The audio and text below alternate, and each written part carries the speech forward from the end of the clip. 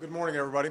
Upping the ante in his clash with Wall Street, President Barack Obama is proposing new rules to prevent too big to fail. He's asking Congress to cap the size of the nation's biggest commercial banks and make them leave risky investing to brokerage houses and other entities.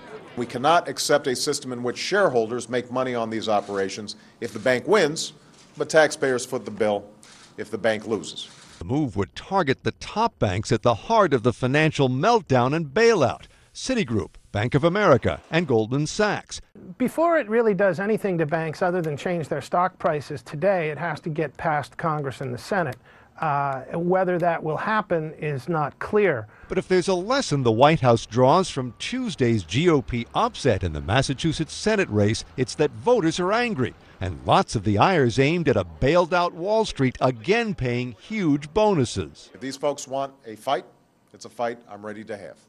And my resolve is only strengthened when I see a return to old practices at some of the very firms fighting reform.